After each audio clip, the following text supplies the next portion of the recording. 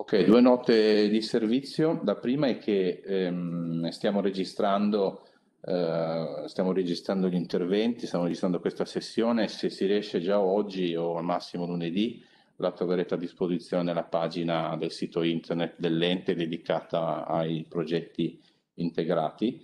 Ehm, l'altra cosa che volevo dirgli è che comunque è collegato il vice sindaco metropolitano fresco di qualche giorno, Jacopo Suppo, che quindi sta seguendo i lavori insieme a noi.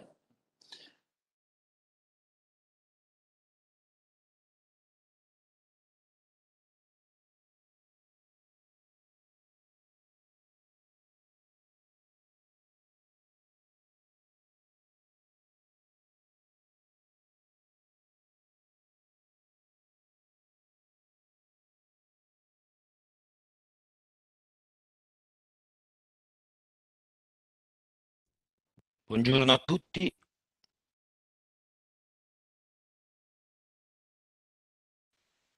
Ehm, vado. Mi sentite? Filippo? Sì, sì. Perfetto. Allora, vado subito al, alla esposizione, posto che abbiamo veramente poco tempo. Eh, il, la misura a cui noi facciamo riferimento la misura M552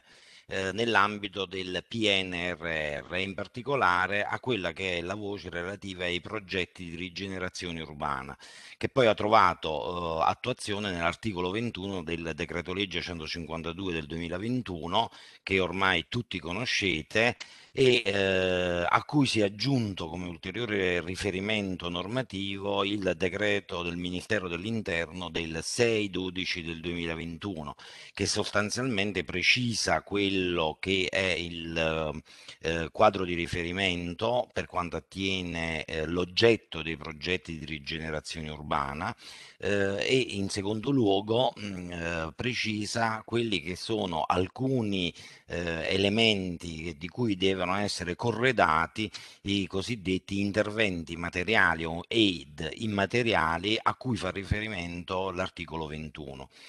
In sostanza questo è il primo elemento da chiarire sul piano normativo mh, mm, eh, che è utile che tutti abbiate ben chiaro. Uh, l'articolo 21 uh, sostanzialmente contempla i progetti di rigenerazione urbana e, pre- e prescrive espressamente che ogni progetto di rigenerazione urbana deve avere un importo minimo di 50 milioni di euro. Il progetto complessivo di rigenerazione urbana si articola in una serie di interventi materiali ed immateriali eh, che mm, eh, si sostanziano in investimenti, gli interventi materiali, quindi eh, parliamo di opere, infrastrutture e quant'altro, e in, uh, invece inter, interventi immateriali, e cioè una serie di attività, servizi sostanzialmente, che possono articolarsi in attività di coprogettazione con il terzo settore, eh, ad esempio, eh, quindi eh, facciamo riferimento a tutta la disciplina degli articoli 55 e seguenti del 117 del 2017, cioè il codice del terzo settore, oppure interventi di spin-on per start-up, quindi avvio di attività di impresa innovativa o quant'altro sul territorio. Quindi queste sono sostanzialmente le indicazioni che ci fornisce il eh, decreto. È chiaro che oltre alla coprogettazione è possibile nell'ambito del perimetro degli interventi immateriali anche a, a rapporti di natura eh, contrattuale ascrivibile al codice degli appalti, quindi veri e propri contratti di servizio che accompagnano e, o che corredano quello che è il complesso progetto di rigenerazione urbana. Quindi sostanzialmente le voci sono interventi materiali, investimenti, interventi immateriali eh, che attengono viceversa a questi servizi che poi possono essere appalti di servizi o eh, attività di, in comprogettazione con il terzo settore settore, 55 seguenti del 117 del 2017, oppure startup. Il, decreto eh, quindi investe quelli che sono progetti dedicati tendenzialmente alla rigenerazione urbana delle periferie della città, delle città metropolitane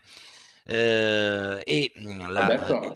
prego, dimmi. Scusa se ti interrompo perché il sindaco si è liberato. Ok, perfetto.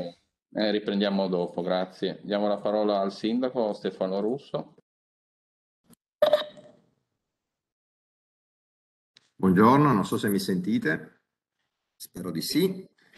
Perfetto. Allora, grazie eh, a tutti e a tutte, scusate del ritardo eh, con cui mi sono collegato, ma avevo un'aggiunta sull'Eurovision un po' complicata. Allora, io volevo eh, solo fare un,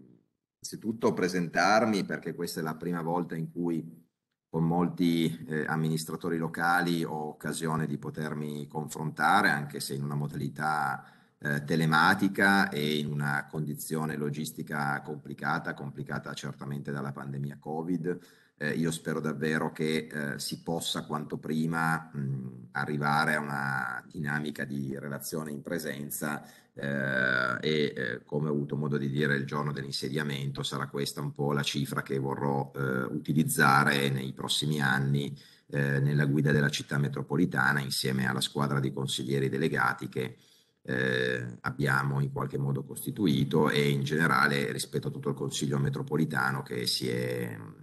che si è costituito e che si è insediato proprio pochi giorni fa. Eh, come ho avuto modo di dire in quella sede, eh, si apre una stagione importante per quello che riguarda la città metropolitana, una stagione importante che eh, riguarda eh, il nostro territorio e che vede eh, nell'ambito di una rinnovata relazione tra il comune capoluogo e eh, i territori più lontani dal comune capoluogo, almeno questo è il mio auspicio, una eh, modalità ordinaria di relazione e soprattutto una modalità ordinaria di collaborazione. Sappiamo bene che la città metropolitana ha eh, una dinamica di gestione operativa dell'organo di governo politico, che è una dinamica che è figlia di una legge che è certamente, almeno per la parte relativa all'elezione di chi vi parla, è stata dichiarata incostituzionale, quindi sicuramente e io condivido questa cosa, l'ho avuto modo di dire, credo che eh, sia dire, molto complicato per uh, un, un, cittadino che vive in un comune della città metropolitana che non sia Torino eh, anche accettare politicamente il fatto che il sindaco sia il sindaco del capoluogo. Questo elemento mi responsabilizza maggiormente eh, relativamente a questa, a questa impostazione nel cercare laddove possibile il maggior grado di condivisione possibile sia per quello che riguarda le linee strategiche che metteremo in campo nei prossimi anni, sia ovviamente per quello che riguarda una modalità ordinaria di eh, relazione che avremo come, tra comune capoluogo e eh, comuni, unioni di comuni e comunità, comunità montane. Eh, io ci tenevo e ringrazio davvero sia il dottor Dani che il dottor Bignone del lavoro che hanno fatto nelle vacanze di Natale, proprio anzi già partendo prima dell'elezione del Consiglio metropolitano che è avvenuta il 19 di dicembre e poi nelle, nei giorni immediatamente successivi, eh, in ordine alla complessa fase di eh, elaborazione delle attuazioni del, del, decreto di cui stiamo discutendo e di cui credo il dottor Bignone stava introducendo i parametri, i parametri generali e fondamentalmente dell'assegnazione che il governo ha fatto alle città metropolitane eh, per la prima volta eh, è capitata una cosa strana, e cioè che eh, le risorse sono state assegnate direttamente a un ente locale eh, senza modalità competitiva, senza un bando. Eh, il PNRR ha una modalità di attuazione ehm, che fondamentalmente vede eh, due macrosoggetti eh, che sono i beneficiari diretti delle risorse, i ministeri che fanno la parte preponderante e eh, le regioni, però io eh, saluto con grande interesse, grande anche come dire, sostegno il fatto che eh, in questo caso il nostro governo ha voluto eh, considerare le città metropolitane come soggetti beneficiari direttamente di, eh, di risorse sulla missione 5. Eh, questo non era affatto scontato e lo ritengo un grandissimo risultato che è stato raggiunto dall'ANCI, che più di altri, meglio di altri, ha rappresentato l'esigenza di avere la possibilità di avere queste risorse e secondo me questo elemento è un elemento che vorrei, eh, vorrei sottolineare. Eh, risorse che eh, sono ovviamente, non sono certamente tutte le risorse del PNRR, sono le risorse della missione 5 eh, che eh, riguarda il tema dell'inclusione sociale eh, e che eh, ovviamente andranno a completare il quadro di risorse economiche che finanziamenti ordinari e PNRR scaricheranno sul città metropolitana a valere su diverse operazioni, sicuramente questa di cui discutiamo questa mattina, ma certamente anche altre. Questa è la ragione per cui io il 14 di dicembre, proprio nella sala riunioni della città metropolitana di Corso Inghilterra, ho eh, insieme al presidente Cirio dato vita alla cosiddetta cabina di regia sul PNRR, che abbiamo non a caso chiamato Together, perché eh, qua il gioco del nostro paese, del nostro territorio è quello di lavorare insieme, e dirò cosa intendo tra poco. Credo che eh, la... Ehm, la dinamica che ci siamo dati istituzionalmente, peraltro cosa unica in Italia, come autorità locali di governo del territorio è stata proprio quella di eh, fare in un'unica tavolo un po' massa critica e sistema rispetto a quello che era la, la, mole di risorse del PNRR, che sono importanti, di svariati miliardi che arriveranno sul territorio della Regione Piemonte e sul territorio della città metropolitana di Torino.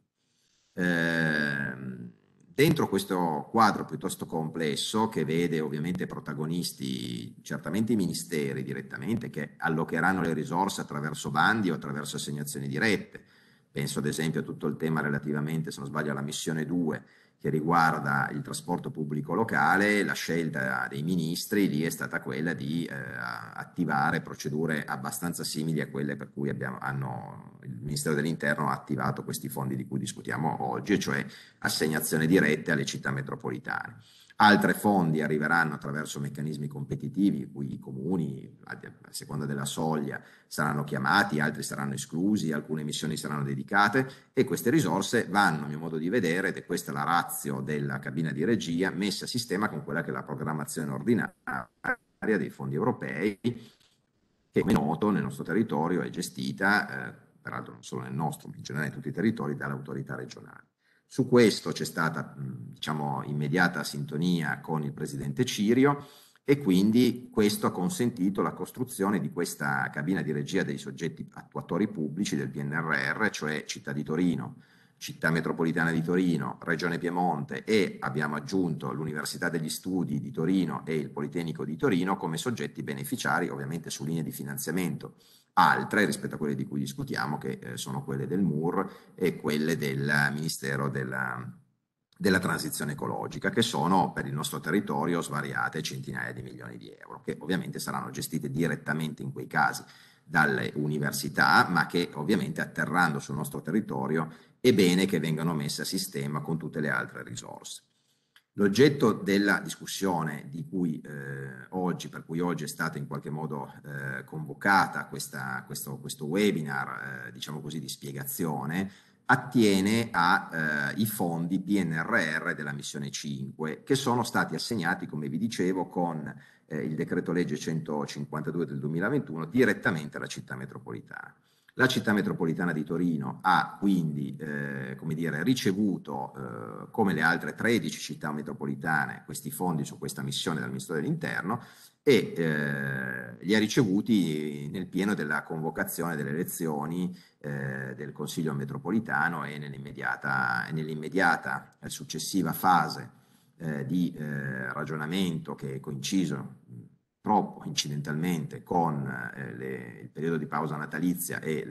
l'esplosione della pandemia di Omicron, diciamo così, ha fatto lavorare e ci tengo anche davanti a tutti voi eh, esprimere un mio ringraziamento sia al direttore generale che al segretario generale perché posso garantirvi che eh, la interpretazione e la declinazione locale di questo decreto sono state un'operazione molto complicata da, da definire. Ehm, quali scelte eh, ho ritenuto di fare in una fase in cui, eh, come dire, occorreva correre molto e eh, il correre molto eh, non è legato a una scelta autonoma di città metropolitana, è eh, legata a dei tempi eh, assolutamente fuori scala che sono quelli che sono stati imposti alla, alle città metropolitane. Eh, questo decreto legge, convertito in legge, assegna obiettivi piuttosto specifici all'impiego di queste risorse, dando una cornice di interventi ammissibili molto stretta, prima eh, cosa che fa. Seconda cosa che fa, stabilisce una soglia dimensionale del singolo progetto, del programma di eh, non meno di 50 milioni e terza cosa che fa, mette una deadline che è quasi eh, al limite dell'impossibile, che è il 16 di marzo. E peraltro mette il 16 di marzo dopo una pesante trattativa che è stata messa in campo dal Presidente De Caro per avere una proroga. Questa proroga è stata gentilmente concessa eh, di una settimana. Ora, questa, eh, queste somme sono state allocate a Città Metropolitana, ovviamente con questi tempi, con queste modalità, perché in realtà questo decreto è stato pensato non tanto per le peculiarità della città di Torino,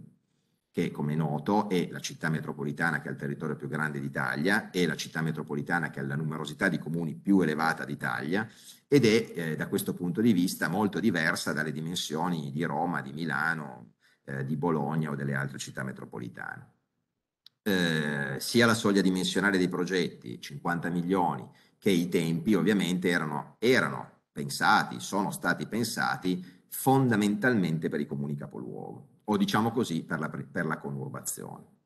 Questo è evidente leggendo il dettato normativo e basta leggere la norma per comprendere questa cosa. Allora io mi sono trovato in una condizione complessa, che era quella di come declinare eh, questa dimensione, che era una dimensione eh, di vincolo di legge, vincolo temporale e vincolo di impiego in una realtà che, eh, come dire, eh, per le cose che ben sappiamo è decisamente differente che è quella della nostra città metropolitana.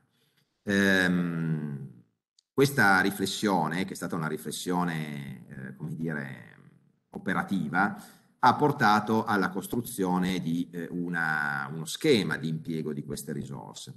Il primo ragionamento che è stato fatto è stato quello di eh, ribaltare il meccanismo di eh, impiego di queste risorse eh, sui comuni eh, esattamente per come era arrivato dallo Stato, e cioè evitare, anche perché detto tra di noi, francamente sarebbe stato praticamente impossibile eh, dal punto di vista tecnico eh, gestirla diversamente, eh, evitare la costituzione di un formale bando di assegnazione di queste risorse. Il principio è stato quello per cui il governo centrale per una volta si è fidato e si fida delle amministrazioni locali, si fida della città metropolitana, la città metropolitana fa lo stesso con i comuni e con le unioni di comuni. Eh, questo è stato una scelta politica, avremmo potuto prenderne altre, avremmo potuto individuare l'assegnazione attraverso criteri competitivi, punteggi, pesi e tutta una serie di altre cose a cui tipicamente siamo tutti abituati eh, come comuni, ma uno, credo che per una volta proviamo a fare la scommessa di lavorare veramente uniti e tutti insieme nell'ottica del bene comune della città metropolitana, due, i tempi che avrebbe comportato l'emanazione di un bando di accesso a queste risorse per la complessità e per i vincoli imposti dallo Stato sarebbero stati oggettivamente impossibili da sviluppare. E quello che sarebbe capitato, che è quello su cui io invece come dire, sono assolutamente indisponibile e che Città Metropolitana questi soldi, diciamo così, li, deve restituire, li, de, li debba restituire per mancato impiego. Noi non ci possiamo permettere di restituire allo Stato neanche un euro di questi 233 milioni. La seconda riflessione che eh, in questo senso mi ha eh, condotto alla produzione di questo decreto è che eh, è stata quella di premiare e valorizzare i comuni Ora, le risorse, come vi dicevo prima, non sono state assegnate alla città metropolitana per essere distribuite ai comuni. Le risorse sono state assegnate alla città metropolitana per la città metropolitana, che come noto ha un programma di investimenti proprio su immobili propri, su situazioni proprie, che oggettivamente era la cosa e la strada più facile da percorrere, e cioè quella di un impiego diretto nel piano economico-finanziario dell'attività della città metropolitana su iniziative di città metropolitana. Seconda scelta politica, molto più rischiosa dal punto di vista dei tempi e, sono, e, e comunque anche molto più rischiosa dal punto di vista politico, quella di fare una scommessa sui nostri comuni, sulle nostre autorità comunali, sulle nostre unioni di comuni e su eh, in qualche modo la nostra capacità territoriale di metterci insieme. Questo ha prodotto il meccanismo di riparto delle risorse che trovate nel decreto, che sostanzialmente viene attribuito in termini di eh, elaborazione e di proposta ai comuni in luogo della città metropolitana. Ovviamente nel decreto troverete una clausola di salvaguardia che qualora le risorse e la progettualità non sia completa nei tempi eh, previsti, che sono strettissimi, Città Metropolitana si riserva di utilizzare quelle risorse per i propri progetti, ma è una parte residuale che arriva a valle e non a monte. Terza componente, il riparto di risorse nei comuni. Voi sapete che l'applicazione brutale del, dell'IVSM contenuto dentro il decreto avrebbe portato a una sostanziale che peraltro era la ragione per cui era stato pensato così,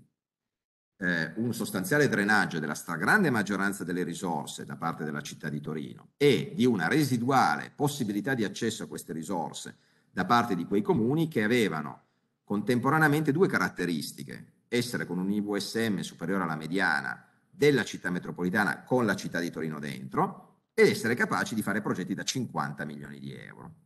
La scelta, ovviamente supportata dall'interlocuzione che c'è stata con il Ministero degli Interni da parte mia e degli uffici, è stata quella di sfilare dal calcolo della mediana la città di Torino, perché questa cosa qua avrebbe portato una, a mio modo di vedere, e lo dico da sindaco di Torino, quindi ho fatto un'operazione conscio dell'effetto economico indotto di minore entrata per l'ente comune di Torino e anticipo di più difficile accesso alle risorse di tutti quei comuni che erano nelle condizioni di Torino, e cioè con un IVSM sopra il 98, abbiamo sfilato la città di Torino. Questo ovviamente è compatibile dal punto di vista normativo e le interlocuzioni hanno consentito quindi di un ricalcolo della mediana dell'IVSM e di un successivo riparto dell'IVSM, consentendo, terza scelta politica, a tutti i comuni di poter partecipare a questa operazione e cioè a identificare i 311 comuni, eccetto la città di Torino, in due macro categorie. Un elenco 1, che sono i comuni che a valle dello sfilaggio del comune di Torino hanno un IVSM superiore alla soglia stabilita e ricalcolata eh, del, nell'IVSM che eh, eh, trovate nella parte dell'allegato che è 97.61, i quali possono accedere direttamente dentro questa soglia, ovviamente ci sono i comuni che avrebbero avuto modo di accedere lo stesso qualora eh, la soglia eh, fosse rimasta a 98, più una serie di altri comuni. E tutti gli altri comuni, che ovviamente però, e questo è il massimo possibile, per poter accedere a queste somme devono consorziarsi tra di loro attraverso una modalità, e questa è stabilita dalla legge, non l'ha stabilita il sindaco Lorusso, che vede la mediana comunque superiore a quel 97 che è il calcolo di VSM ricalcolato senza contare la città di Torino. Questo elemento ha poi consentito di ripartire le risorse sulle due linee di finanziamento,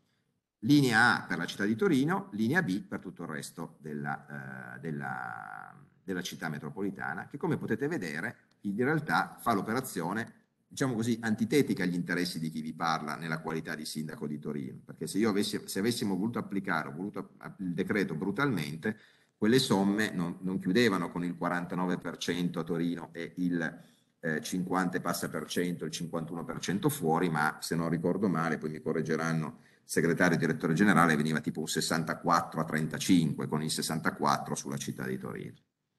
Esatto. Questo è... Prego? Esatto, esatto. Esatto quindi, esatto. quindi, da questo punto di vista, le scelte politiche che chi vi parla ha fatto nell'ambito di questa cornice normativa sono state, uno, dare priorità agli interventi dei comuni rispetto agli interventi diretti di città metropolitana. Ribadisco con la clausola di salvaguardia che qualora gli interventi dei comuni, compreso il mio, non saturino la capienza di 233 milioni, io non mi posso permettere come sindaco metropolitano di non usare i 200 milioni, 293 milioni e quindi metteremo i progetti di città metropolitana e lo trovate nel decreto. Due, di sfilare dal calcolo dell'IVSM la città di Torino che avrebbe provocato, come confermava il segretario generale, dei 233 milioni oltre il 64% finiva a Torino, quindi sostanzialmente questa cosa qua avrebbe asciugato completamente le risorse per tutto il resto della città metropolitana. Attenzione, nel pieno rispetto della norma, anzi l'applicazione brutale della norma aveva prodotto quella roba lì. E quindi abbiamo, e su mia indicazione, il segretario e il direttore hanno lavorato per cercare di trovare una quadra che fosse nell'ottica di potenzialmente consentire un maggiore impiego dell'intera città metropolitana. Voi sapete la mia opinione, io sono convinto che questo territorio riparte se riparte l'intera città metropolitana. E lo dico contro i miei interessi di sindaco di Torino, lo dico contro, se vogliamo, eh, i, i, diciamo così, una, una parte di, anche di, di, di, sindaci, credo, che eh, si sono giustamente, per certi aspetti legittimamente lamentati di questa scelta, ma la scelta l'ho assunta per questa, per questa ragione. Terza, eh, terza variabile, ovviamente, ultima, che è quella di facilitare il compito ai comuni individuando una soglia che non poteva essere 50 milioni, perché non, siamo, non vivo sulla Luna e so bene che a chiedere ai comuni di presentare progetti da 50 milioni diventa fondamentalmente rendere la vita un inferno e rende questa cosa qua impossibile. E conseguentemente abbiamo cercato di venire incontro ai comuni individuando un meccanismo che, che complicherà molto l'elaborazione del progetto successivo, che è quello di individuare unità sistemiche più piccole, che sono quelle da 5 milioni. Questo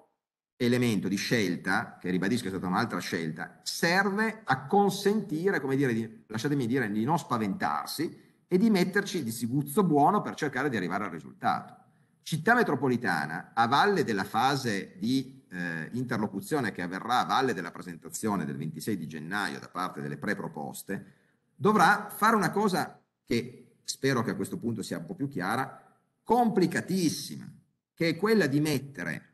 cosa arriva dai territori dentro un unico progetto di taglio minimo 50 milioni.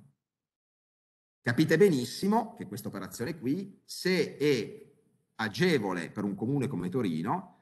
è molto complicata quando io parlo con centinaia di comuni che hanno ambiti territoriali, ambiti sociali completamente diversi e che per tante ragioni in molti casi non, non si sono tutti, ci stiamo trovando tutti per la prima volta a ragionare in quest'ottica. Allora io lo sforzo che chiedo davvero di fare, che innanzitutto abbiamo fatto noi, politico ed economico come città di Torino, che abbiamo fatto noi come città metropolitana nell'individuare una modalità di potenziale accesso molto più larga rispetto alla previsione normativa e di fare in modo che questa scommessa politica, che io personalmente ho voluto giocare, che era quella di lavorare nell'ottica insieme ai comuni, sia una scommessa che riusciamo a vincere. Per vincere questa scommessa, la cosa che chiedo davvero alle amministrazioni locali è di lavorare seriamente all'integrazione dei progetti. Ho bisogno, ho bisogno che mi aiutiate a arrivare il più possibile vicino alla soglia dimensionale integrata dei 50 milioni. Cioè, traduco, la cosa che noi come territorio, questo non guarda il colore politico, non guarda il territorio, noi quello che dobbiamo fare nelle prossime settimane e cercare di aiutare Città Metropolitana a rispettare i parametri di legge. Perché questo possa essere possibile, bisogna che ci sia un processo territoriale, spontaneo e autonomo che sgrossi il lavoro di unione delle progettualità e di presentazione unitaria che consenta quindi a Città Metropolitana, in un tempo che, sarà, che richiederà le notti per lavorare, di integrare che cosa arriverà dalla città metropolitana, dai comuni della città metropolitana, in un unico progetto o almeno in due progetti da 50 milioni che saranno quelli che trasmetterò al Ministro degli Interni al 16 di marzo. Senza la collaborazione io non ce la faccio. Cioè, noi non ce la facciamo come città metropolitana. Se noi non abbiamo un processo collaborativo, territoriale, che ovviamente è nel decreto lasciato completamente libero, non c'è nessun vincolo. Abbiamo ragionato se mettere vincoli territoriali, abbiamo ragionato come gestire i CUP, abbiamo ragionato se mettere delle soglie dimensionali. No, la scelta politica è stata quella di aiutare i territori a poter partecipare a questo processo. Però io se non ho da parte di tutti eh, questo mh, aiuto, noi come città metropolitana non ce la faremo. Non ce la faremo. Quindi l'auspicio mio è che davvero questo che, come dire, è anche, diciamo così, forse la prima volta in cui la città metropolitana si trova a dover dare concretezza e operatività a un'impostazione che è quella che è sempre stata seguita in questi anni di fondamentalmente facilitazione di processi aggregativi, dobbiamo dare concretezza e dimostrare al Ministero, al Governo, che la città metropolitana di Torino, nonostante le condizioni proibitive, che guardate, sono, non ho problemi a dirlo, lo dico pubblicamente, sono una follia, una rivoltella piantata alla Tempia, noi comunque a Torino siamo in grado di farlo. Questo lo dico perché su questo terreno verremo misurati anche per ulteriori successive fasi di, di eh, erogazione di risorse. Aggiungo che sono convinto che se noi saremo bravi come città metropolitana a fare questo lavoro, io non escludo che potremmo anche essere in qualche modo beneficiari di ulteriori risorse, perché avremo dimostrato una cosa complicata nella pubblica amministrazione italiana e che la pubblica amministrazione riesce a essere efficiente ed efficace. Quindi io, ed è la ragione per cui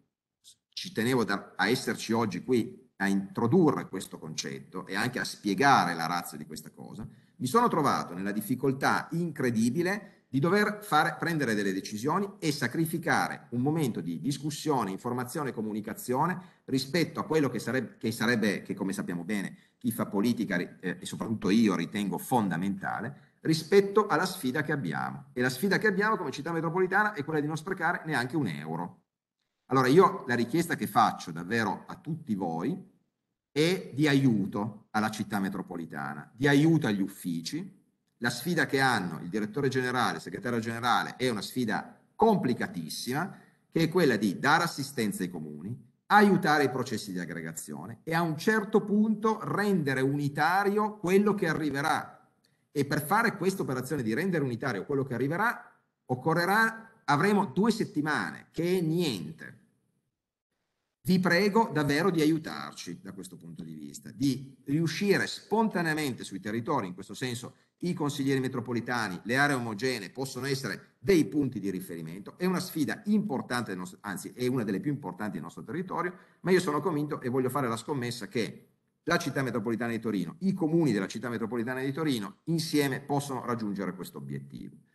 Questo è sostanzialmente il quadro eh, politico, istituzionale che c'è, io questa cosa mh, la, la, la, la penso possa essere fatta, deve essere fatta, i paletti di che cosa possiamo finanziare con queste risorse li stabilisce il decreto, di come dobbiamo come città metropolitana presentare i progetti al Ministero degli Interni li stabilisce il decreto, aiutate a costruire questa soglia dimensionale e di contenuto da 50 milioni, la città metropolitana dando il vostro contributo nell'aggregarvi già tra di voi perché se non facciamo questa operazione qui, il rischio enorme è di perdere queste risorse. Io ehm, purtroppo la numerosità, sono contento che siamo eh, svariate centinaia collegati, la numerosità del, della nostra partecipazione non consente eh, di, di, di, poter aprire un dibattito. Sarà collegato, resta collegato il vice sindaco eh, Jacopo Suppo per quello che riguarda la discussione che avverrà Ringrazio il eh, direttore generale, il dottor eh, Dani e il segretario generale, il dottor Bignone, per aver, come dire, lavorato testa bassa anche il giorno di Natale, di Santo Stefano, a Capodanno, per arrivare a questo risultato. Adesso tocca ai comuni e i comuni devono fare eh, la, loro, la, loro, parte. Ma io sono convinto che se lo faremo tutti insieme avremo, eh, come dire,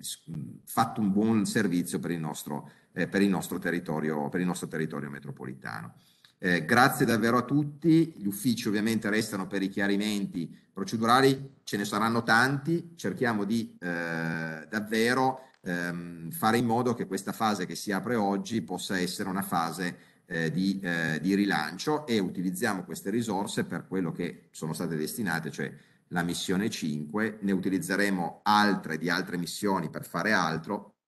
ma come sapete bene io credo che il tema della rigenerazione urbana, della ricucitura sociale, sia uno dei grandi temi, delle grandi questioni. Poi avremo altre risorse del PNRR per la competitività, per il turismo, per le infrastrutture, per tutte le altre cose, bene che ci siano e la cabina di regia che abbiamo istituito serve a quello. Questi servono a questa roba qua, quindi usiamoli, usiamoli bene, cerchiamo di farlo insieme, cerchiamo di aiutare la città metropolitana in questa sfida improba che ha, che mettere insieme un territorio vasto, Avrebbe, avremmo avuto, ne sono consapevole, molta più facilità a fare le cose che vi dicevo prima, e cioè a usare progetti di rete di città metropolitana o ad applicare brutalmente il decreto, È una scommessa politica, è una scommessa su cui io ci ho messo la faccia, ce la metto volentieri, va nell'ottica di quello che penso io debba essere città metropolitana, c'è un luogo di discussione e di area vasta, l'ho fatto nella scelta delle persone, delle donne e degli uomini che mi affiancano nella rappresentazione del governo della città metropolitana, l'ho fatto adesso, lo voglio fare per i prossimi anni. Per poter farlo, però, noi dobbiamo azzeccare le scelte e essere, mm, come dire, coerenti, essere capaci di mettere a terra queste questioni. E la grande sfida che abbiamo come sindaci e come amministrazioni, io credo che se lo faremo con questo spirito, Torino farà davvero una bella figura nazionale e questa bella figura nazionale potrà davvero rappresentare un modello erogativo delle risorse statali, PNRR o non solo PNRR, anche, anche per il futuro. Quindi eh, grazie davvero a tutte e a tutti, lascio ovviamente la riunione, lascio eh, al dottor eh, Bignone e al direttore generale eh, la conduzione della, della, della, della mattinata e eh, il, il, vice sindaco Suppo che eh, presidierà, presidierà, politicamente da, al, posto in, al, posto mio questa, la discussione che maturerà. Grazie davvero a tutte e a tutti.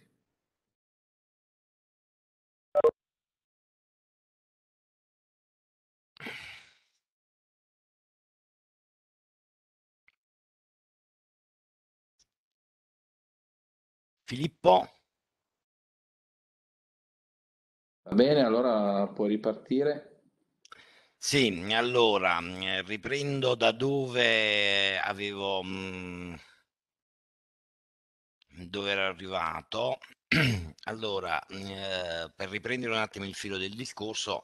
eh, richiamo per l'appunto i termini della misura che è la M5C2 e in particolare i progetti di rigenerazione urbana che eh, hanno poi trovato attuazione nell'articolo 21 del decreto legge 152 del 2021 e l'ha convertito poi proprio a fine anno eh, in particolare la legge di conversione, la 233, proprio oh, pubblicata il 31 dicembre del 2021, con delle modifiche non irrilevanti rispetto a quello che era il quadro di riferimento mh, iniziale.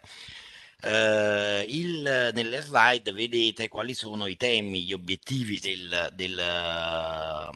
eh, dei progetti di rigenerazione urbana che, come vi avevo già accennato in precedenza, eh, richiedono un quadro economico non inferiore, prescrive il decreto, eh, di 50 milioni di euro. Eh, quindi riprendendo quello che diceva per l'appunto il sindaco Lorusso, mh, mm, eh, i progetti hanno come obiettivo la eh, rigenerazione urbana di territori vulnerabili al fine di realizzare città intelligenti, sostenibili e limitando il consumo del suolo, recuperare spazi urbani e aree esistenti allo scopo di migliorare la qualità della vita e promuovendo processi di partecipazione sociale e imprenditoriale.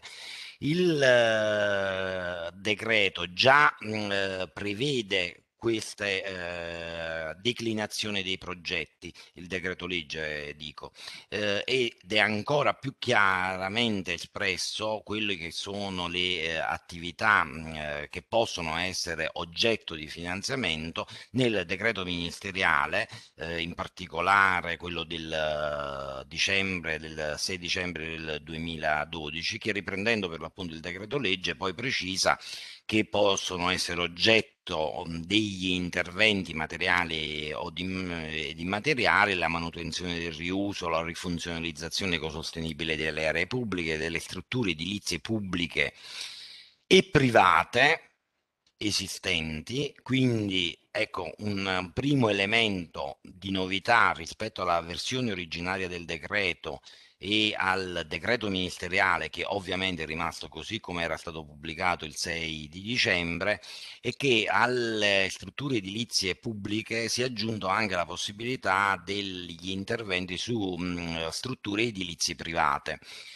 E qui faccio un inciso in modo da mh, eh, già fissare uno dei parametri che sono contenuti nell'articolo 21. Sono ammissibili nell'ambito del progetto di rigenerazione urbana anche gli interventi materiali eh, a cura eh, di soggetti eh, con il concorso di soggetti privati.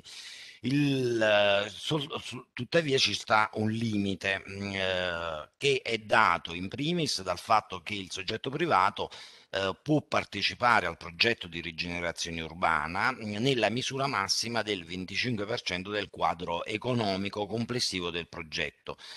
Eh, questo vincolo è prescritto espressamente dal decreto legge ed è confermato del resto dalle FAC del Ministero dell'Interno mh, mm, ed è un vincolo che non, possiamo superare eh, evidentemente. Il, eh, il, concorso da parte del privato potrà evidentemente avvenire nella misura del 25% a valere su fondi non quelli della misura principale ma nell'ambito di quelli che sono i fondi BEI che sono disciplinati dal, eh, dall'articolo 8 del medesimo articolo 21 del medesimo decreto legge 152 del 2021 che sono fondi eh, all'atere rispetto alla misura specifica e che sono comunque ammissibili. Ripeto, nella, nel limite del 25%. Come vi diranno poi nel prosieguo del, del webinar, il eh, eh, quadro economico è uno degli elementi complessivo del progetto di rigenerazione urbana, è uno degli elementi che viene richiesto a corredo del progetto unitario eh, proprio perché eh, bisogna eh, assicurare il, qualora ci siano per l'appunto interventi da parte di privati oppure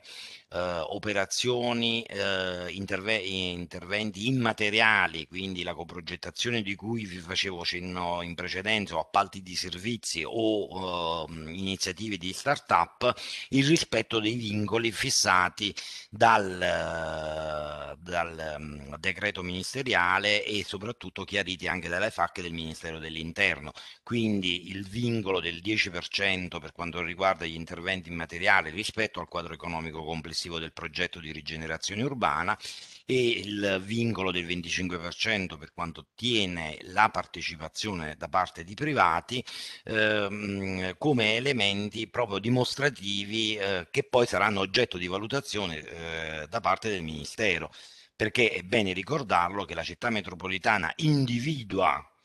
eh, così dice il decreto, i progetti, ma eh, successivamente devi dimostrare al Ministero, poi sarà il Ministero a valutare non soltanto i singoli progetti eh, in termini proprio di ammissibilità rispetto ai requisiti espressamente prescritti dall'articolo 21, ma soprattutto anche in termini sotto il profilo delle modalità di selezione dei progetti stessi. Ed ecco anche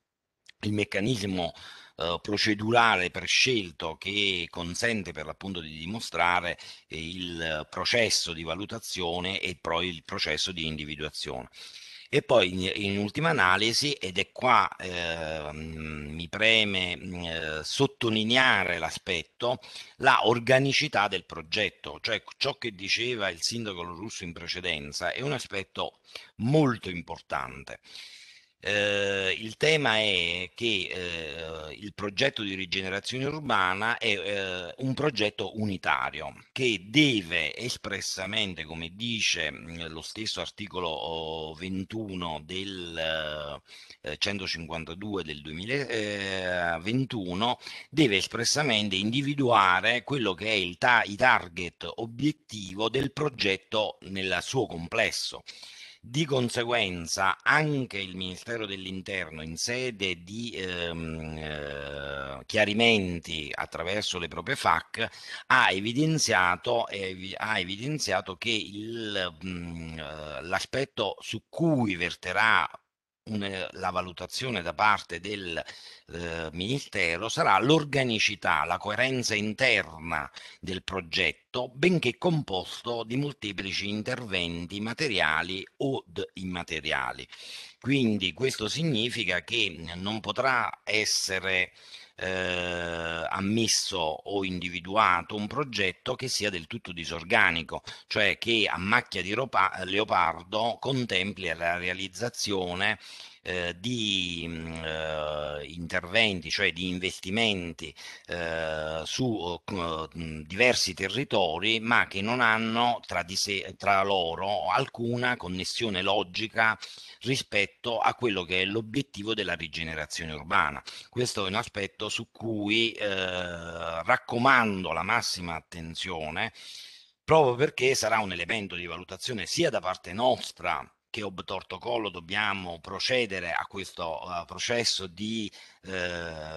rilegatura degli interventi e di uh, individuazione dei progetti, ma soprattutto, ed è qua, ecco perché dico, um, è necessaria la massima attenzione, sarà oggetto di valutazione da parte del Ministero, cioè non potranno essere individuati progetti del tutto disorganici e a macchia di leopardo, ma dovranno avere una loro coerenza interna. Quindi ciascun progetto di 50 milioni di euro potrà sì contemplare eh, interventi in misura non inferiore ai 5 milioni di euro,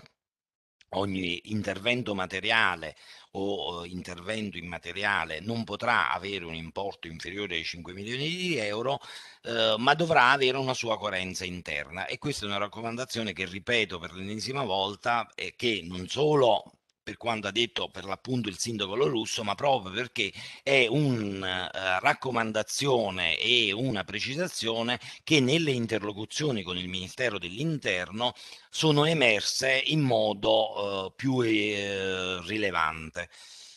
E da questo è nata, nasce la sollecitazione proprio del sindaco e anche la mia di prestare attenzione a questo aspetto. Come dicevamo, mhmm, come diceva per esempio il sindaco Lorusso, l'articolazione delle linee di finanziamento, la A eh, è per la città di Torino che ammonta a 113 milioni 395 mila 160 euro e 120 milioni 552 mila 757 per quanto riguarda tutti gli altri 311 comuni della città metropolitana. Ovviamente eh, ogni, rimane sempre fermo il vincolo che ogni progetto di rigenerazione urbana deve avere un importo minimo di 50 milioni di euro, come prescritto mh, mm, chiaramente dal, eh, dall'articolo 21 del decreto legge e eh, di, non possiamo andare al di fuori di questo parametro. Eh, non mi soffermerei più di tanto su quello che sono gli, mh, mm, eh, il contenuto descrittivo degli interventi materiali che sono declinati chiaramente in progetti di manutenzione per il riuso, la rifunzionalizzazione degli ecosostenibili di aree pubbliche o aree strutture pubbliche e private esistenti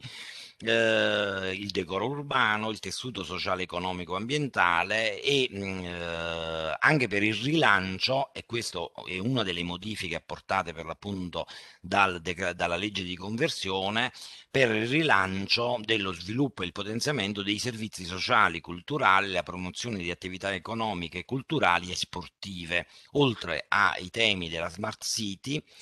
e alla rivitalizzazione delle attività economiche, trasporti e consumo energetico. Eh, un aspetto su cui viceversa è utile mh, eh, soffermarsi è, è quel, il tema a cui si faceva riferimento delle VSM. Eh, il tema dell'IVSM va eh, detto che il decreto prescrive come requisito primario di ammissibilità che la proposta di progetto di rigenerazione urbana, quindi facciamo riferimento al progetto da 50 milioni di euro minimo, eh, può essere proposto dal comune singolo che abbia un IVSM superiore a 99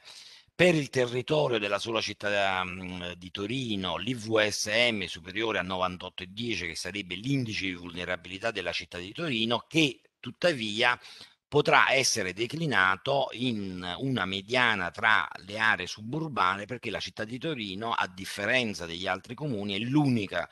eh, ente che è suddiviso in aree suburbane a cui è stato attribuito dall'Istat un indice differenziato e quindi nel caso in cui il progetto intervenga su aree suburbane eh, puntuali, chiaramente si andrà a fare il calcolo della mediana. Questo viene precisato dal Ministero dell'Interno nelle proprie FAC. Viceversa, per tutti gli altri comuni, salvo non abbiano la capacità di presentare il comune singolo un progetto da 50 milioni di euro, eh, e quindi eh, con un indice superiore a 99, qualora più comuni presenti in un progetto di rigenerazione urbana, si andrà a fare il calcolo della mediana e dovrà l'IVSM mediano essere superiore alla mediana dell'area metropolitana, che è stato calcolato nella misura del 97,61.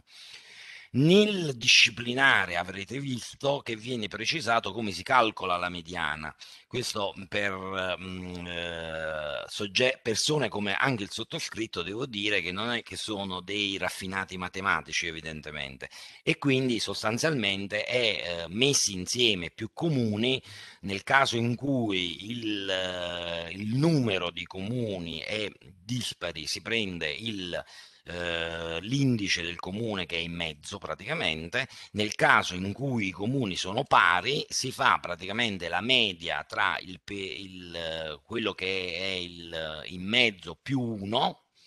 e si fa la media tra questi due valori dell'indice di vulnerabilità sociale e materiale dei comuni individuati. In pratica se sono quattro si prende il secondo e il terzo e si fa la media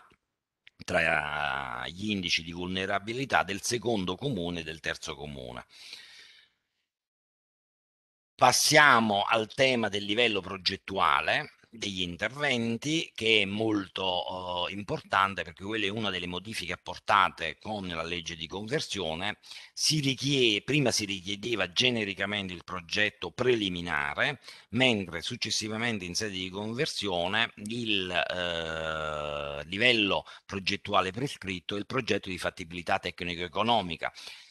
Anche noi siamo consapevoli che evidentemente è stata una modifica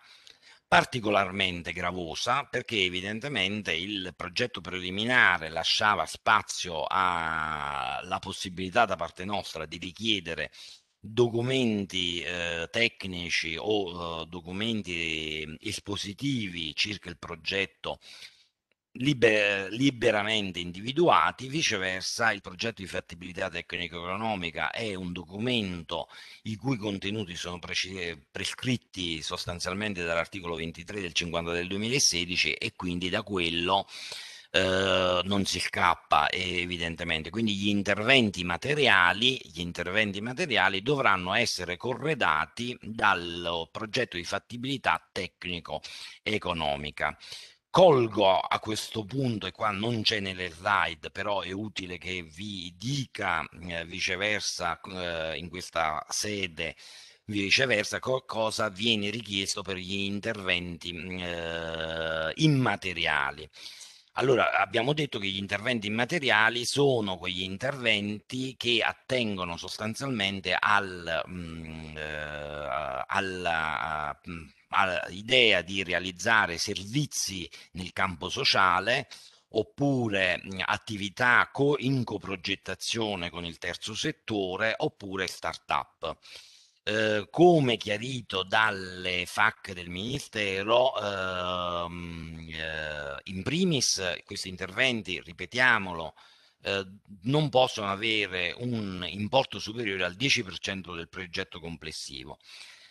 e poi devono essere corredate, chiaramente in questo caso sono servizi oppure attività in coprogettazione oppure progetti di start-up e in, quindi non c'è una progettazione ascrivibile all'articolo 23 e quindi in questo caso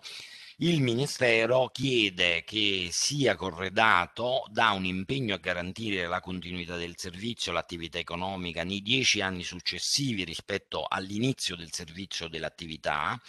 un piano di sostenibilità economico-finanziaria del servizio eh, e poi una rendicontazione dei costi sostenuti a valere sul contributo erogato, in modo che eh, si abbia un quadro chiaro di che cosa si intende fare. Cioè, in sostanza, va elaborato un progetto della coprogettazione che si intende realizzare o del servizio che si intende attivare con questi elementi, l'impegno al mantenimento del servizio nei successivi dieci anni, un business plan a corredo del progetto di servizio o dell'attività in coprogettazione e successivamente dovranno essere rendicontati i costi a valere sul uh, PNRR. Non è necessario, e qua mi preme sottolinearlo, che mh, sia già individuato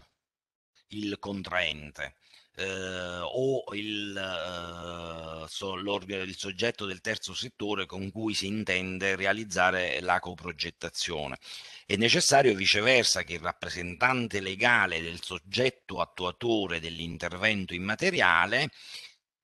produca quello che è il progetto del servizio, produca il quadro economico, il business plan eh, e si impegni al mantenimento nei successivi dieci anni dall'attivazione e assuma poi l'obbligo chiaramente della rendicontazione,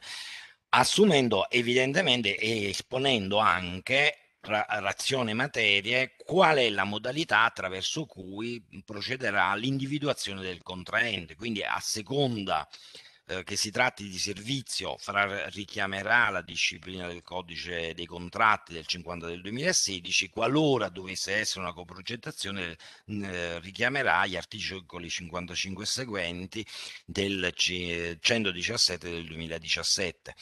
Eh, va detto quindi che è, è, necessario soltanto l'impegno ma non l'individuazione. Va, eh, mi colgo anche l'occasione per evidenziare che sia per gli interventi immateriali sia per gli interventi materiali eh, è essenziale e qua sarà eh, un elemento sia dei singoli interventi ma anche del quadro complessivo del progetto di rigenerazione urbana, il cronoprogramma. Il cronoprogramma che dovrà eh, descrivere puntualmente chiaramente i diversi step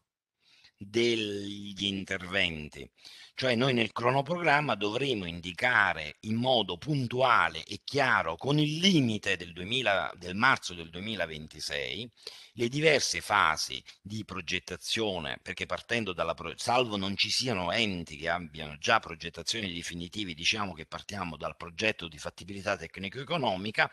dovranno dire quali sono i tempi del progetto per il progetto definitivo, quali sono i tempi dell'esecutivo, i tempi di individuazione del contraente al netto di, dei, delle eh, semplificazioni in tema eh, di procedure di gara, eh, i tempi di esecuzione dell'opera. Perché mi preme evidenziare questo aspetto? Mi preme evidenziarlo per rammentarvi che questa disposizione dell'articolo 21 va inquadrata nell'ambito di quello che eh, sono complessivamente i procedimenti disciplinati per il PNRR. Prego. Scusami, se eh, stai facendo riferimento a slide che però non si vedono. No, allora, sto, qua sto andando a braccio per chiarire un aspetto. Okay. vuoi condividerle o perché comunque le slide le mettiamo nella, nella sezione del sito internet e quindi saranno a disposizione di tutti. Eh, sì, dopo le condivido, dopo le condivido okay. perché,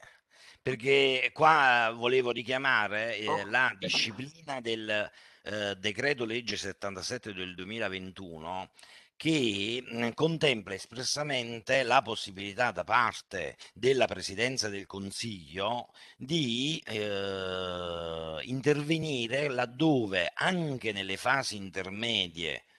del cronoprogramma non vengano rispettati gli step, cioè le diverse fasi che il soggetto attuatore ha indicato eh, come eh, scadenze e adempimenti.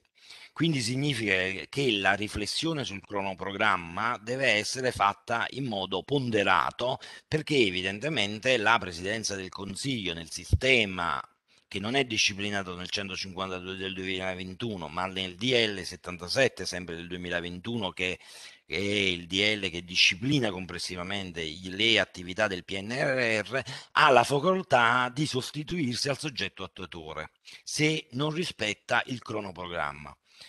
Questo è un inciso, Filippo, che chiaramente non c'è nelle slide perché, ahimè, ho la brutta abitudine di parlare a braccio, e, però evidentemente magari le integriamo eh, e le rendere, quando renderemo pubbliche le slide integriamo sul punto questo aspetto che richiama al decreto lì. Nella slide a pagina 10, nella pagina 10 delle slide, poi gli altri tre elementi che sono tenuti in considerazione sono l'incremento di due classi energetiche, l'equilibrio tra zone edificate e zone verdi, la partecipazione degli attori economici e della società civile.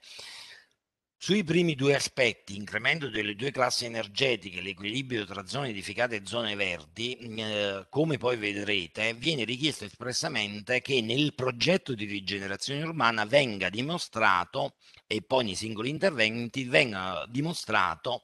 quello che è il target obiettivo di questo equilibrio tra zone edificate e zone verdi e poi per i singoli interventi il superamento delle due classi energetiche. Questo aspetto è strettamente collegato a quello che vedete nella slide a pagina 11. Cioè il tema è la valutazione di conformità al principio eh, di non danno significativo all'ambiente che è disciplinato articolo 17 per l'appunto del regolamento UE. Uh, al riguardo uh, vi forniremo quello che è una scheda da uh, compilare e da uh, allegare al progetto di rigenerazione urbana, oltre che ai singoli interventi,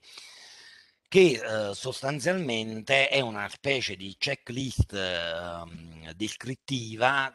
circa quelli che sono gli aspetti del regolamento e che dimostrano che l'intervento non ha un danno significativo all'ambiente. Bisogna in particolare, leggendo per l'appunto la scheda mm, eh, della eh,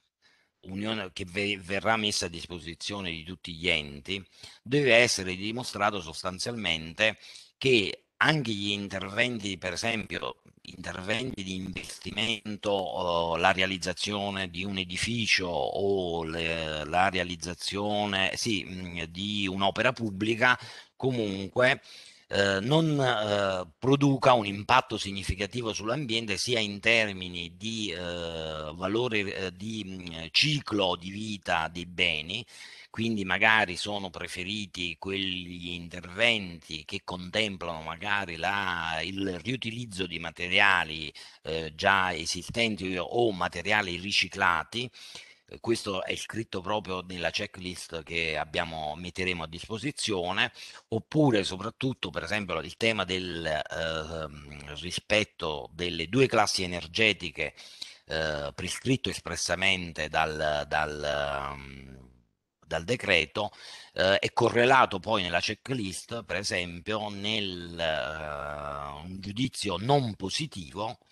eh, se non negativo, nell'utilizzare eh, impianti particolarmente ehm, eh, importanti di produzione di energia di riscaldamento attraverso con il gas, quindi si preferiscono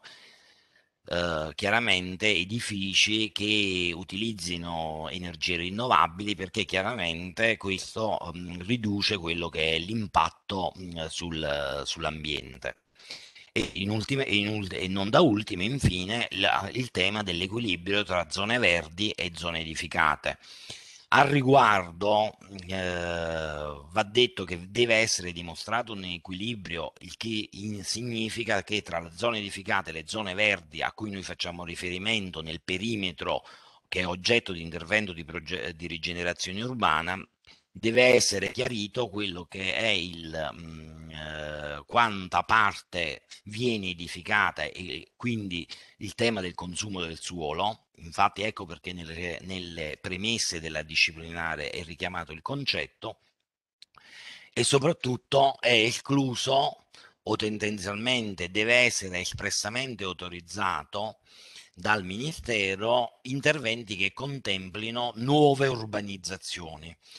Quindi in sostanza il, il tema è che eh, le nuove urbanizzazioni, quindi terreni vergini eh, che devo, dov, dovessero essere eh, oggetto di intervento, sono sfavoriti perché devono essere eh,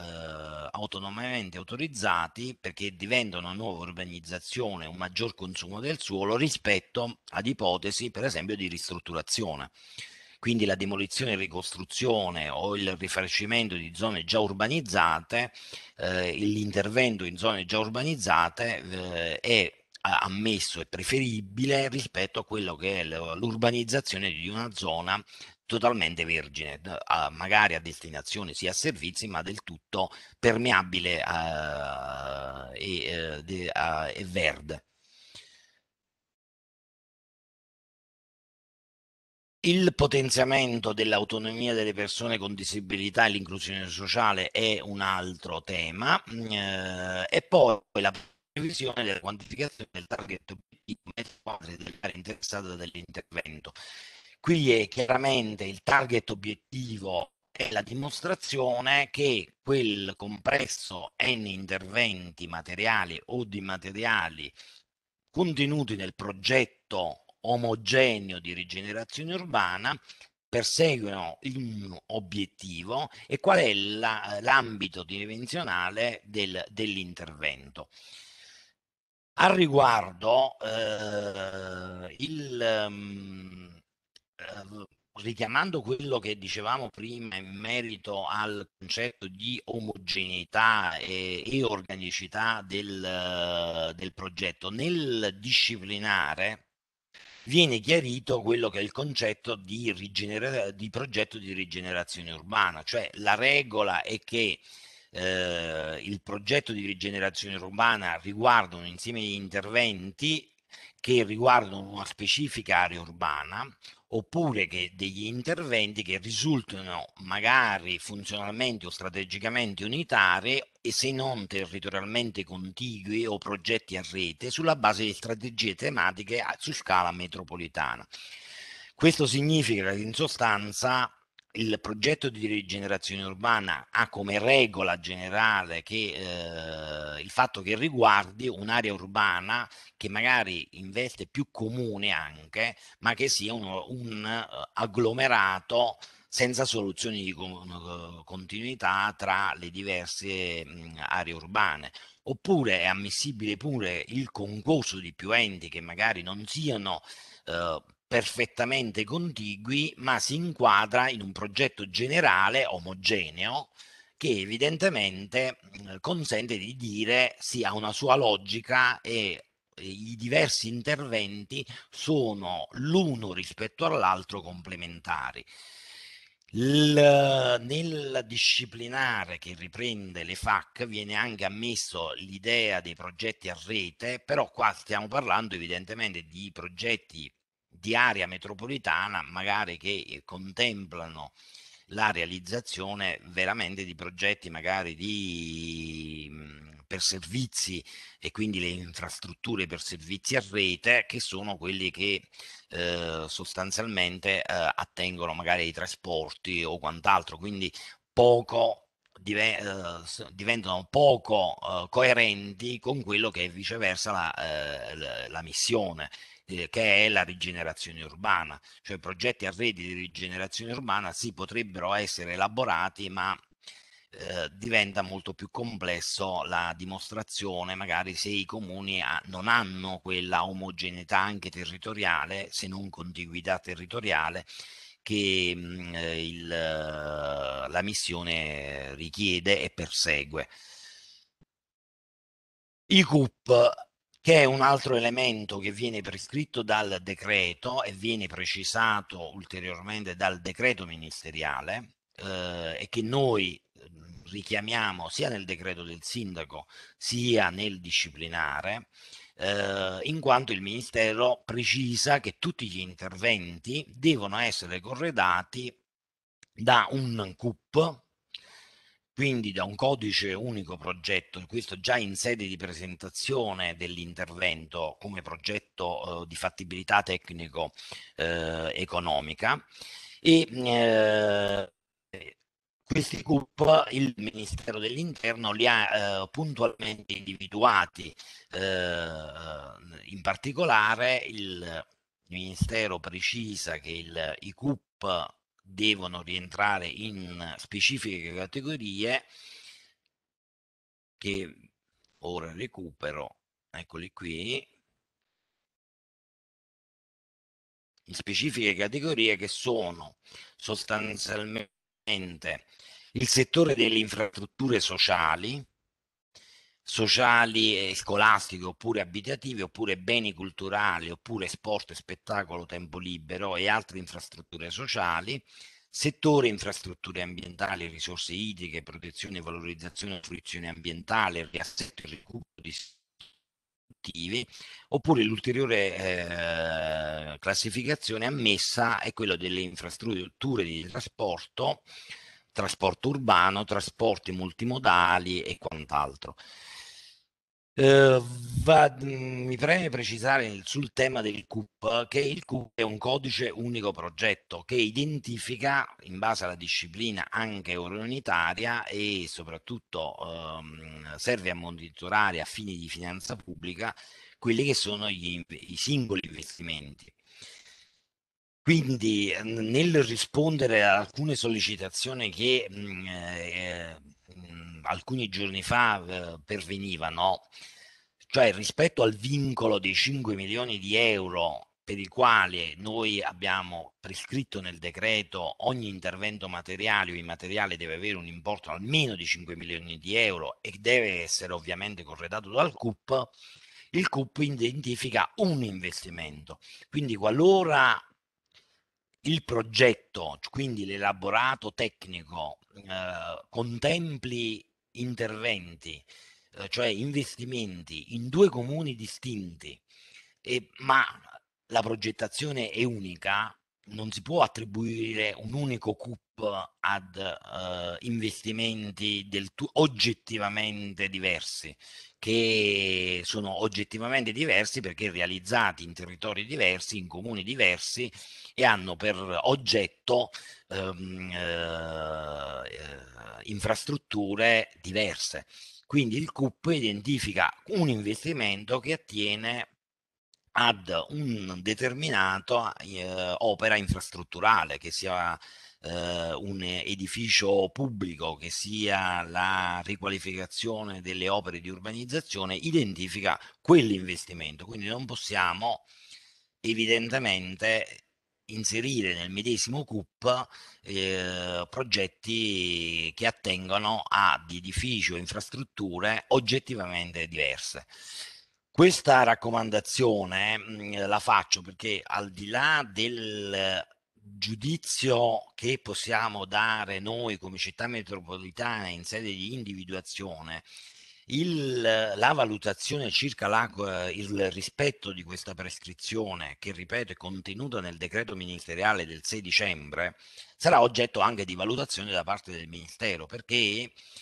anche il comma 9 dell'articolo 21 del 2021 eh, prescrive per l'appunto che il Ministero eh, acquisisce il progetto di rigenerazione urbana e gli interventi corredati dai singoli CUP, quindi andrà a controllare evidentemente il CUP che identifica l'intervento. Quindi su questo la raccomandazione è per l'appunto di evitare di inserire nel medesimo elaborato progettuale interventi oggettivamente diversi, identificandoli con un medesimo CUP perché non ha alcun fondamento o, uh, o logica. Uh, l'ultimo uh, accenno circa uh, il, i requisiti lo farei sul tema che magari qualcuno potrebbe eh, contemplare nei suoi progetti di rigenerazione urbana circa la possibilità dell'acquisto di beni immobili. L'abbiamo anche messo nel disciplinare questa possibilità perché è contemplata e ammessa dal, d, dalla misura ed è ammessa dalle, dai chiarimenti del Ministero nei termini indicati dal disciplinare. Anche nel caso di acquisto di beni immobili è necessario il rispetto del limite del vincolo del 10%, rispetto all'importo complessivo del progetto di, di, rigenerazione urbana, quindi diciamo rispetto al, al, al, limite minimo dei 50 milioni di euro e il Ministero precisa eh, nelle, come poi noi abbiamo riportato, ripeto, nel disciplinare, precisa che l'acquisto eventuale di, eh, proge- eh, l'acquisto eventuale di immobili deve essere corredato da una perizia giurata di parte atta a eh, valutare eh, la congruità sostanzialmente del, eh, dell'acquisto, eh, il, la natura dell'immobile, precisare che l'immobile non sia, diciamo, un immobile abusivo, quindi dovrà essere corredato da un certificato del comune competente al riguardo eh, e poi chiarire le finalità dell'acquisto, quindi anche l'acquisto di un bene immobile deve essere eh, coerente e finalizzato a quelli che sono i target del progetto di rigenerazione urbana e quindi a sua volta della misura della misura cenno eh, l'articolazione dei progetti che verranno presentati nel, la, nel progetto di rigenerazione urbana eh, coerentemente con quanto già si diceva è possibile anche contemplare azioni eh, tutti quanti se non avuto modo di leggere la direi intempestiva quantomeno uh, circolare. Non, non ah. sentiamo più, ci Mi sono senti? problemi. Mi senti? Non si è sentito più. Adesso sì. No, dicevo, allora, no, perché mi sono, ho la, la cuffia, ma eh, dicevo che mh, eh, tutti avranno letto la intempestiva circolare del Ministero del MEF del 18-1 del 2022 che mh, eh, chiarisce quali sono i termini sostanzialmente, quali sono le spese di assunzioni a tempo determinato eh, ammesse a carico del finanziamento PNRR ai sensi dell'articolo 1 del decreto legge 80 del 2021 ahimè, mh, eh, contro quelle che erano sostanzialmente le aspettative di molti che mh, eh, auspicavano la possibilità di un rafforzamento delle strutture amministrative eh, interne, benché attraverso assunzioni a tempo determinato, la circolare del MEF circoscrive eh, fortemente quelli che sono la categoria di mh, assunzioni eh, ammissibili e che possono sostanzialmente essere circoscritte a quelle che sono proprio le attività tecniche eh, della progettazione o dei servizi di direzione lavori, di eh, servizi di architettura o di ingegneria, collaudo o incarichi per, oppure assunzioni per le indagini geologiche o quant'altro. Quindi sostanzialmente mhmm, non assunzioni proprio di soggetti di amministrativi, per così dire, o di tecnici che aiutino magari al, mhmm, all'esperimento di quello che è il procedimento interno per la gestione dell'investimento. Questo perché il MEF spiega che mhmm, a differenza del, della disciplina che eh, è, a me è prevista dall'articolo 6 paragrafo 2 del regolamento UE 241 del 2021 le misure del recovery eh, non contemplano l'applicazione di quella disciplina che viceversa sembrerebbe anche ammettere per l'appunto eh, la categoria cosiddetta dell'assistenza tecnica che potrebbe viceversa eh, ricomprendere attività tra virgolette di natura amministrativa utili magari al funzionamento dell'apparato mh, che mh, indubbiamente dovendo gestire, dovendo gestire un investimento da 10 o barra da 50 milioni di euro meriterebbe o mh, quello che è un, rafforza, un rafforzamento. Io avrei finito soprattutto perché per dare spazio anche alla spiegazione circa le diverse fasi del procedimento di individuazione, che eh, sono declinate nel disciplinare. Filippo. Prego. Sì, ok, grazie. Adesso eh, presentiamo qualche slide, sono davvero poche, due o tre. Eh, così condividiamo anche eh, il processo per la presentazione dei progetti.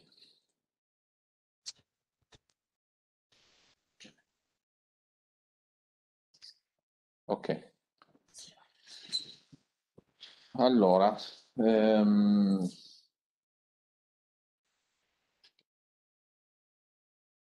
Teniamo fermo questo schema che eh, è, è, il più rappresentativo di tutti. Allora, qui è eh, il cronoprogramma, le scadenze che ci siamo dati per arrivare alla data del 16 marzo. Mm? Quindi, eh, un primo step eh, importante è quello del 26 gennaio, mm? quindi alla mezzanotte del 23.59 per l'esattezza abbiamo scritto il 26 gennaio c'è la scadenza per la presentazione delle proposte sintetiche di progetto, poi vediamo cosa sono e ehm, vi spieghiamo anche cosa, cosa, cosa chiediamo. Dopodiché si avvia la fase chiamata fase B, che è il confronto tra i comuni sulle eh, proposte sintetiche che sono presentate, quella fase cui faceva riferimento prima il sindaco, che è una fase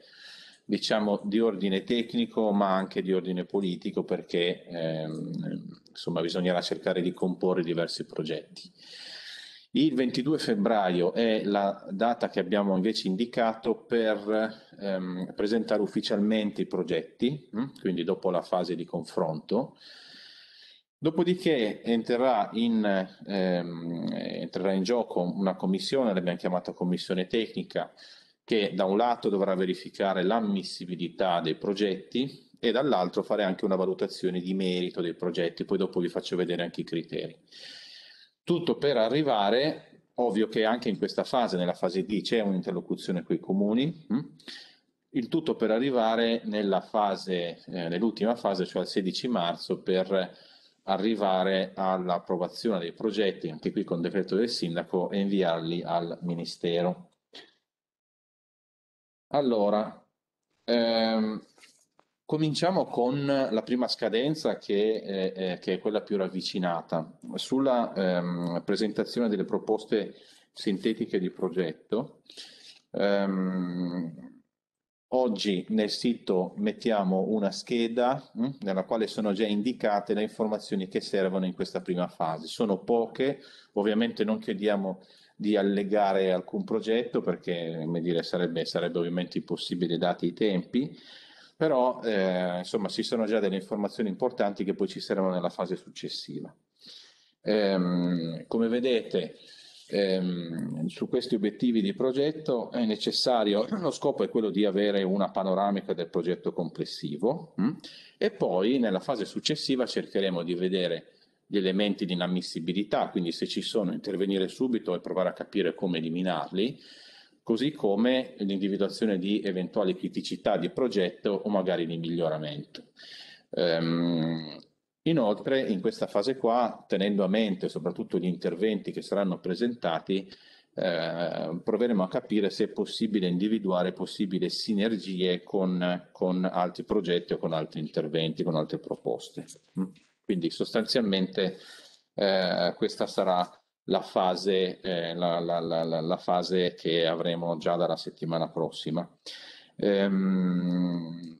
in questa eh, proposta sintetica chiederemo soprattutto l'idea del progetto, cioè capire che cosa si è in mente, capire se ad esempio ci sono già delle progettualità in corso o se avete già dei progetti, anche questo è importante capirlo. Chiederemo l'elenco degli interventi, se ci sono già, che cosa si ha in mente nel progetto integrato.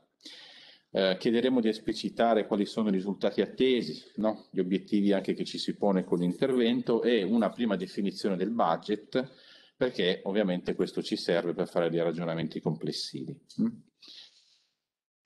Um, nella fase invece di confronto eh, con, che poi faremo con, con, con, tutti voi che avete presentato interventi o progetti e quella successiva che si chiuderà il 22 febbraio.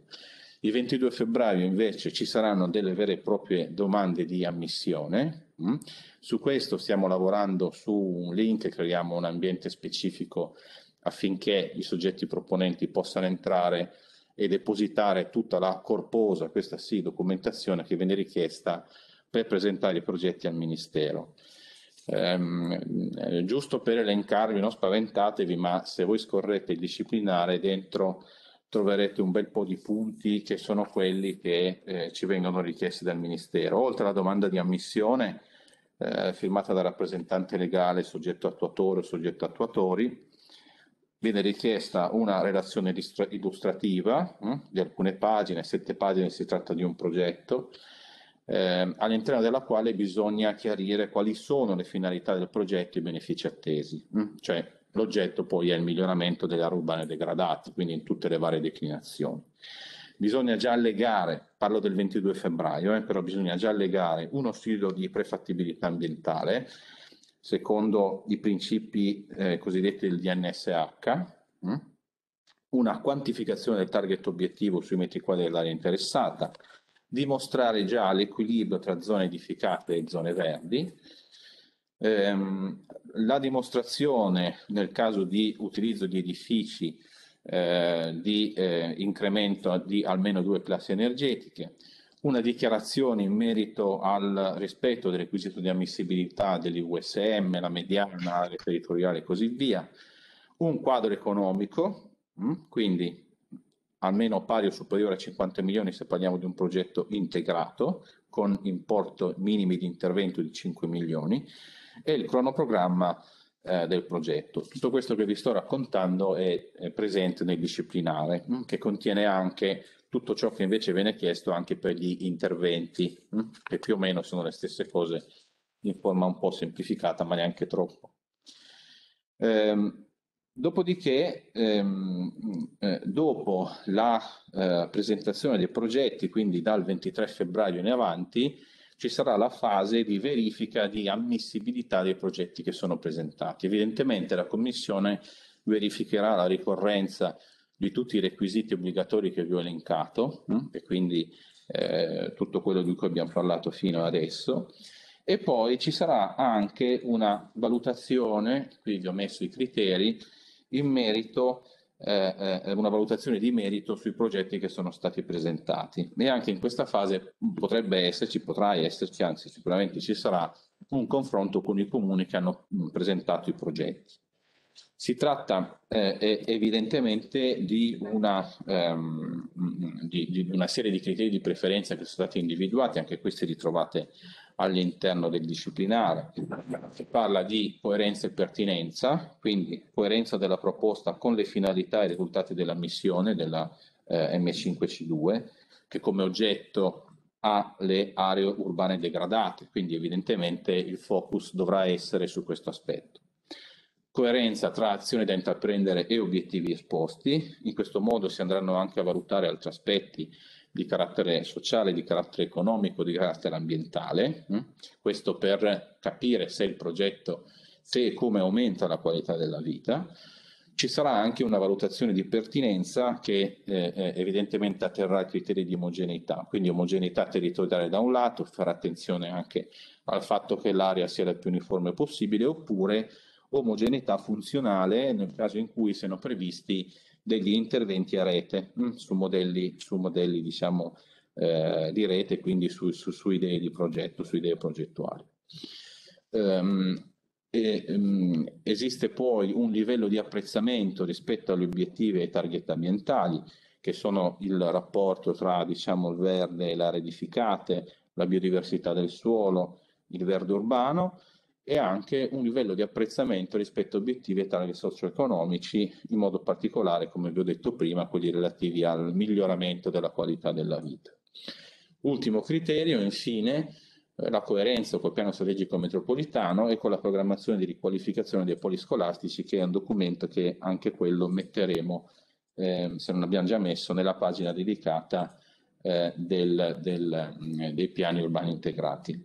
Allora, ehm, ho visto che ci sono già una serie di domande eh, che sono state, sono state, presentate in chat, le abbiamo più o meno annotate. Se volete reinviarle a questa mail, la stiamo attivando adesso, quindi questa è la mail a cui fare riferimento se avete questioni, dubbi da chiarire.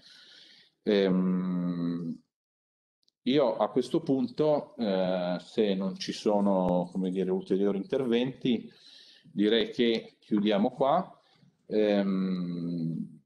aspettiamo quindi di eh, eh, ricevere eventuali vostre domande. Ehm, ehm, volevo dirvi che tutta la documentazione, compreso anche il documento relativo alle proposte sintetiche, finiamo di elaborarlo ma nel giro di breve eh, e mettiamo anche il documento nell'area dedicata del sito internet. Ok, quindi dovreste trovare tutti questi documenti già nel pomeriggio. Mm. Va bene, io eh, vi ringrazio, questa sarà evidentemente stata prima, il primo incontro, ma avremo la possibilità di interloquire anche successivamente, credo anche in maniera molto intensa, almeno con alcuni di voi. Mm. Io eh, eh, ringrazio eh, tutte e tutti per l'attenzione e insomma ci, ci, ci, ci, terremo aggiornati e ci rivedremo magari anche fisicamente. Va bene, grazie a tutti, arrivederci.